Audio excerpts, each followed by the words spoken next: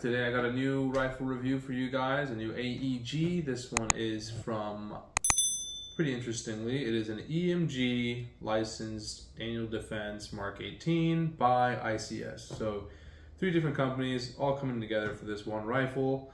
Um, we'll get into the price and the specs and all that, but first things first, let's get right into the unboxing. Let's get that out of the way.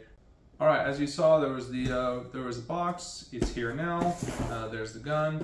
Got this nice bright yellow, uh, big old Daniel Defense, lighter, stronger, better. You got what the gun looks like out in the front, so you know exactly what you're buying.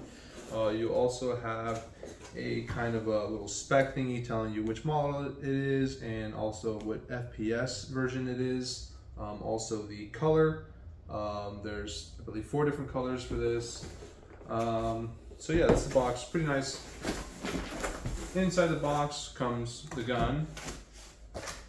You also get an ICS uh, advert, an unjamming rod, as always.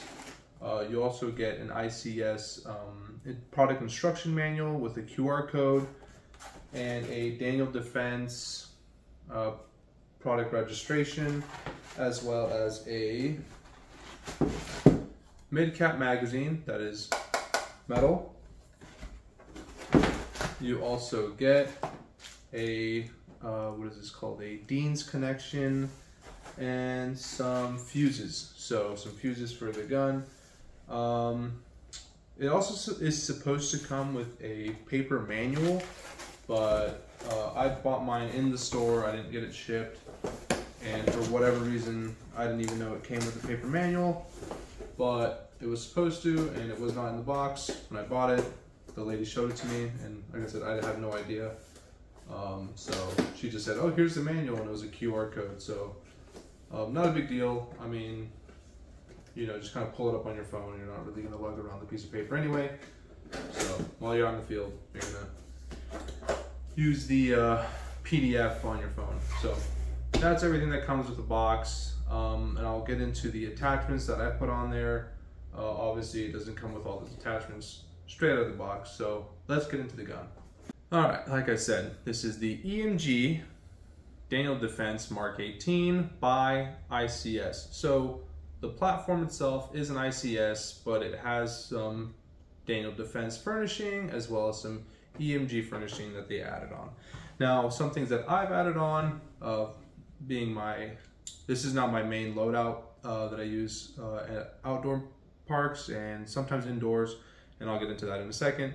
But I have my Knight's Armament um, tracer unit. I also have my Olight flashlight with the pressure pad, uh, my outdoor uh, optic cover, as well as a mock EOTech uh, and this bottom kind of stubby grip. So uh, the tracer unit, the flashlight, the pad, the cover, the sight, the optic and the grip do not come with the gun. Those are sold separately.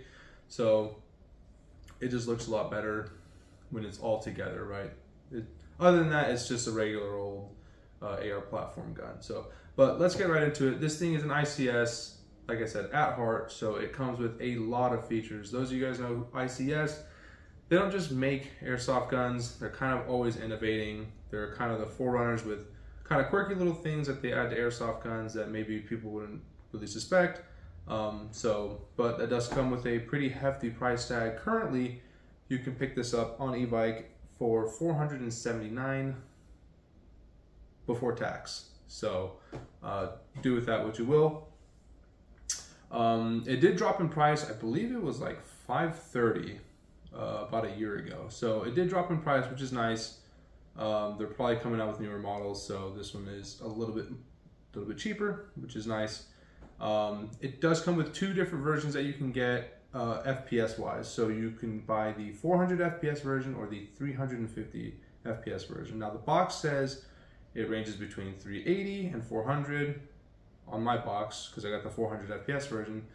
And I'm assuming the 350 probably says between probably says between 340 and 360, right? Just to kind of ballpark uh, what it is, but who knows.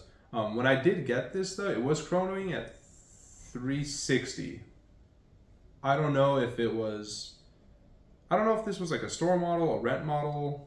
Um, I bought it supposedly brand new, but like I said, it was missing the manual. I did get it on sale, so I didn't pay full price. Um, it was like a sale that Evike was having online, and they honored it in the store, so that was nice. Um,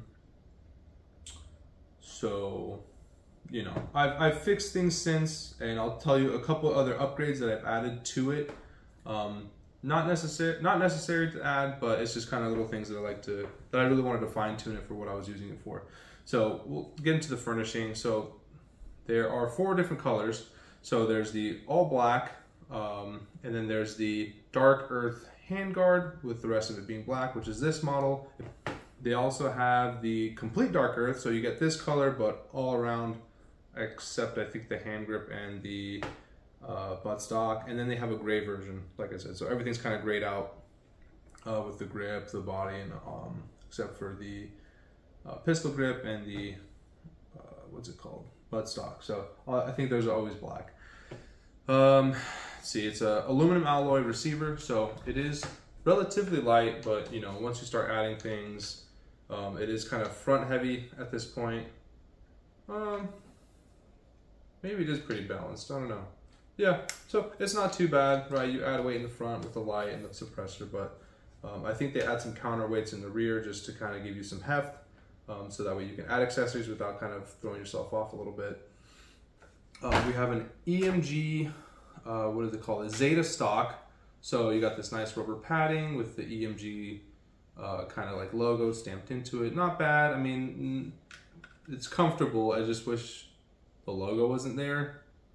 But I mean, no one's looking that deep while you're shooting at them. So, right, multi-position stock. It's nice and easy. The button's down here. You also have a couple of, um, what is it called? Anchor points for your slings. You got your mock uh, forward assist, if I'm saying that correctly.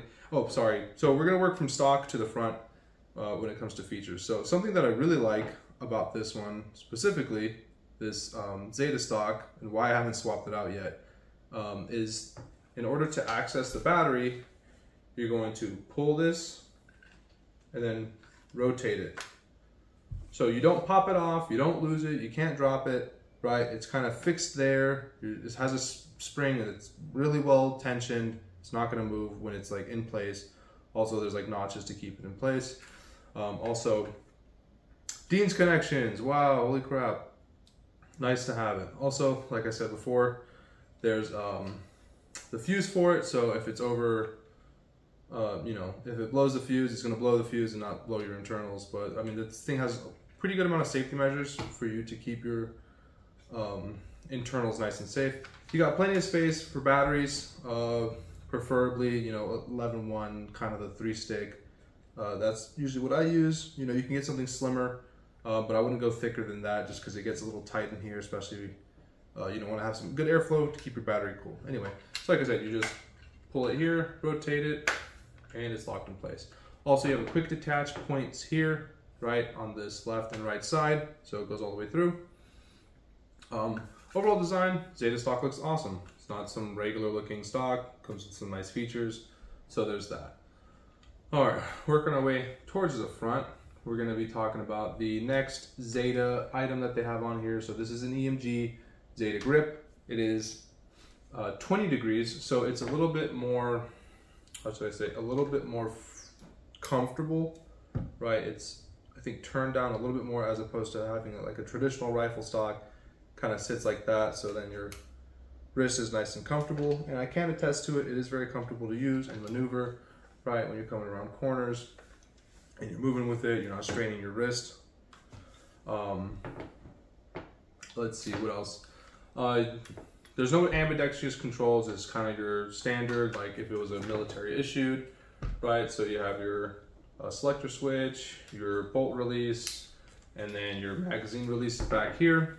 You got iron sights in the back and front. Uh, you also got this nice charging handle that opens that up. Now, unfortunately, I don't know if it's supposed to lock, but it doesn't. The dust cover. So you kind of have to hold it in place. Well, actually, it's not supposed to. I'll get into that in a minute. Um, oh, we'll get into it now. It is an electric blowback, or yeah, electric blowback. So every time that you pull the trigger, this thing will go back. Now it doesn't simulate that much recoil. It just kind of, um, you know, flies back and forth, and it's it's pretty cool, nice to have, right? You have it closed, and you fire your first shot, and the little thing goes back, and as you shoot, it goes back, kind of simulating like a real um, firearm. But obviously, it's just this little cover, right? This doesn't move. This just this little section moves. Um, I'll show you guys in a minute. Um, I left the sticker on there, so caution, blowback function, right, as you can see here. I will take that off soon. Uh, what else? You have your standard Daniel Defense markings, right? So you got your Mark 18 here, Daniel Defense stamped here, Black Creek, uh, Georgia, USA, M4 carbine, yada yada yada, 556. Good old fashioned Daniel Defense furnishing. Um, that's it for that body section. The trigger, uh, it is an electronic trigger. Uh, it's programmable. It's ICS's S3 electronic trigger. So um, as this is programmed, or how it's currently programmed, so we have safe, semi, and then kind of like an AUG, um, if you just tap the trigger when it's on auto, it'll do a burst, but when you hold it down, it goes full auto. So um, pretty nice to have. You could turn that off, right? You can kind of switch things around. Uh, you have to look at the manual and kind of program it from there. There's no programming card. You have to program it through the trigger, but it's pretty easy. Once you get your settings set, you're not really going to mess with it all that much. Um, all right, onto the foregrip. Uh, it is a, I don't remember. I'll put the information here. Um, but it's the Daniel Defense uh, Mark 18 RIS2. So all your RIS2 uh, attachments can go on this no problem, right? Any kind of standard uh, standard issue attachments can go on here. As you can see, I got a grip, I got a flashlight, I got the pressure pad here. So um, that's it for its kind of aesthetics. Um, power in this thing is the ICS Evo 1 motor uh, which I haven't had any issues with. Um, it says it, it's capable of having higher RPMs than what it comes with. So this thing is upgradable out of the box. It's going to be able to handle it, right? All the internals are going to handle whatever you throw at it. The motor's going to be able to handle it. Um, up to a certain point, right? Don't don't don't abuse it too much. Don't don't a crazy battery and expect it to. Oh well, you said it was gonna be fine. Like, you know, use common sense. Um, so into the kind of quirks, um, like I said about this gun, it is an ICS, so it comes with weird things, or I call them beneficial things. They're just really nice to have, like I said. Uh, we already talked about one of them, which was the EMG. Well, that's more of an EMG thing, but um, the grip also, or the buttstock, also the grip. So you have these two pins, right? And if you want to access the motor, you just push those pins out and the cover falls off and then you can access the motor. So no more, um, you know, stripping bolts and stuff. If you want to adjust it, right, it's right here, the height of the motor, so you can do that easily. But if you want to take it out and unplug it, then you just knock these little metal rods out. You can push them out with your finger and then finish pushing them out with some sort of, um, you know, thin object, kind of just push it all the way through. But nice and easy. It's kind of like less specific tools and more just like things you can have lying around while you, so you can maintain your uh, equipment a lot easier. Um, another ICS feature, and this is probably the biggest one, and I will need a tool for it. So give me one second. So I have my hex key here. Um, and what I'm going to do is I'm going to knock the rear pin out and you know, you could do this a lot more smoother than I'm going to do it. So now that you have that rear pin removed, don't lose it. Guess what this thing has? Not only is electronic blowback, it is a split gearbox. What? So, I mean, talk about easeability or having it easy to just be able to swap things out in the middle of games. I was at Battle Lab and I was letting people borrow my kind of CQB stuff, and I needed this thing to be CQB so I could use it, and I was able to just pop out the spring, right? So here's kind of the upper half of the um, the uh, gearbox, and you just use a hex key once again. Uh, you push in, quarter turn or half turn, and you pop it out, and there is your spring. So super easy to swap out. That was really convenient to have. Um, I mean, when you're doing maintenance on these things, if you guys ever opened up a like old school, not an old school, but you know something that doesn't have a quick change spring or doesn't have a split gearbox, if you ever mess with those, you'll know that it's a hassle to get back together or to take it apart in the first place, right? You got the spring kind of fighting against you and it's just a pain in the butt. So that's um, probably the coolest thing about this replica is just how realistic it is, really. Um, right, it comes with, it just, it looks like a real thing, and it kind of functions like the real thing, right? It, it moves back and forth, you can crack it open like a real M4, you can, you know, work on it like a real M4, just kind of like being able to open it and look at the parts and kind of mess with it, so it's really nice. Um, so I know I'm missing a lot. I'm sure I'm missing a lot. You know, go go ahead and check out the uh, Evike website and uh, see what kind of other features. And if you really want to get specific into what this thing has and whatnot, um, go ahead and check out their website. They're going to have a lot more information when it comes to you know selling the rifle to you. Um, usage wise, right? And this is kind of where these at-home reviews come in. Is um, like I said, out of the box, this thing was shooting kind of lower FPS, 360. When it was advertised, it's just 400. So uh, changes had to be made. Um, another thing that I noticed was it was kind of lacking in range. And I know it's a Mark 18, right? The barrel only, the inner barrel only goes out this much, and that's as much as you're gonna get. The hop up for me just wasn't cutting it. I'm sure it's great. I'm sure it's fine. You probably just would need to finagle with it a little bit more. Like I said, I'm sure it's fine. I'm just a big, and I'm sure you already noticed, a Maxx Model hop up simp, right? So I have the Maxx Model, um, the orange aluminum version, the rotary hop up. Also, another thing I like about it is because I was always, I would always forget, is it up? Is it down? Am I doing more? pressure on the BB? Am I doing less? So like, I try to keep things as simple as possible for myself. So this thing, the fact that it has numbers, lets me remember, hey, it's shooting at this FPS with this, right? Or the group is like at this size with this number on the hop up.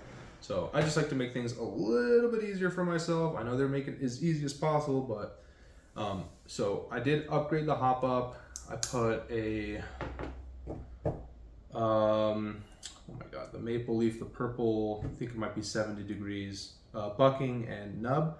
Um, the inner barrel, I did swap it out. I swapped it out for a tight bore Mad Bull inner barrel. I believe it is a 6.02. I could be wrong, but I also got it. They didn't sell the exact size for that barrel, so I ended up getting it a little bit longer than the original, but I'm talking like, you know, maybe a quarter of an inch longer. But hey, you know, I'll take a quarter of an inch. Maybe it's going to add a little bit of distance. Um, it still doesn't interfere with the with the tracer unit, so that's nice. Uh, but I was able to fine tune this thing way easier. Um, I got the grouping like down to like the size of a quarter um, at about I want to say 20 feet. Right, and then if you see all the if you saw the Evike video on this, they say, oh, don't, you know, the max weight for BBs that they recommend would be 0.2s or 0.25s or whatever, nothing higher than that. Um, I like to run 0.25s or 0.28s, so the Maxx Model hop up was able to get me to use those heavier BBs and to kind of really fine tune where I need to put pressure on those BBs to really um, get to the more get them where I was going because it was just kind of kind of just felt like it was falling. I'm sure if you saw those gameplay videos, you would have noticed me playing with this because this is what I've been playing with the past year. um, while I was waiting for another thing. It's finally here, but we'll see. Um, I gotta wait to play with that one to see uh, a review on it. So we'll get there when we get there. I know it's been slow. So, oh, couple other little cool thingies. So the 11.1 volt battery, obviously, right? Um, another thing that this thing does. So maybe I'll just show it. All right, so I got my 11.1 battery in here. Uh, this is an Echo One. Um, like I said, the uh, triple kind of chewing gum looking sticks. But anyway, you just throw it in there, plug it in, get those wires nice and stuffed. Voila. Make sure you're not pinching any of the wires and you're nice and clear. So, like I said, um, I'll show you guys the electric blowback that this thing has. It is, right? So as you can see, it opened it up and it's gonna, maybe you can't see it because it's going pretty fast, but anyway. Um, and then as well as the auto, I'll show you the just tap, right? So you just tap it and it's three, and then once you hold on to it, it's full auto. But if you notice, this thing kind of precocks and you'll hear it once I go from semi to safe.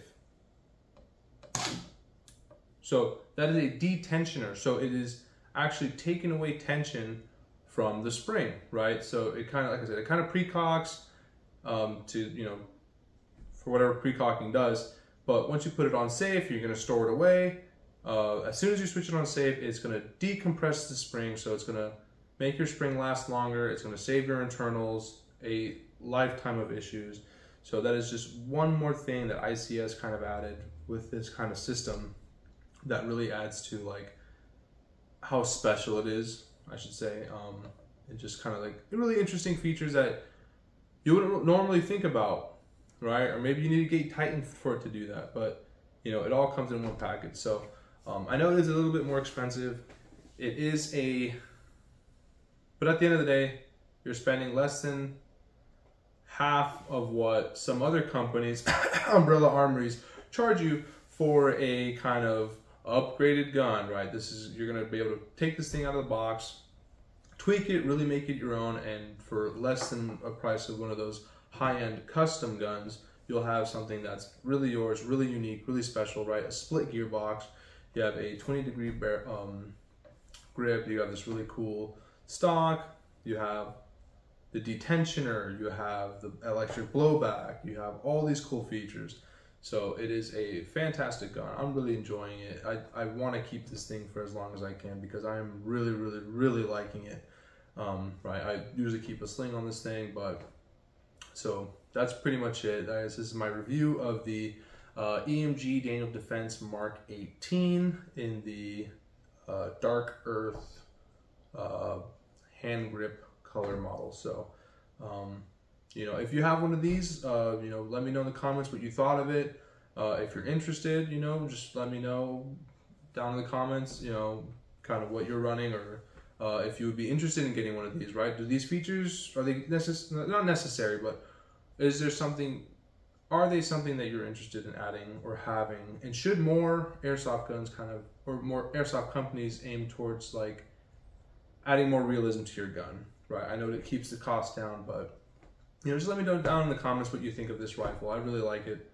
Um, you know, would you pick one up? So thank you guys for uh, sticking around. I'll see you guys out in the field.